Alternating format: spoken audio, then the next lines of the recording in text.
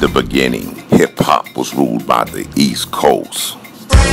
Then the West Coast rose to prominence thanks to gangster rap.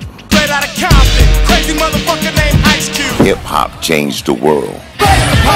Gangster rap changed the narrative I'm representing for the gangsters all across the world. and then changed the world again. Cause I'll come and take your life away. The history of gangster rap features unheard stories, unseen photos and documents, all with exclusive interviews from the founders and players who shaped gangster rap. I think a real gangster rapper has to scare you a little bit. The history of gangster rap written by veteran rap journalist Soren Baker. In stores October 2nd, 2018. Yo, what up? This is DJ Quik. Be sure to pick up my homeboy Soren Baker's book, The History of Gangster Rap, if you really want to know what we do.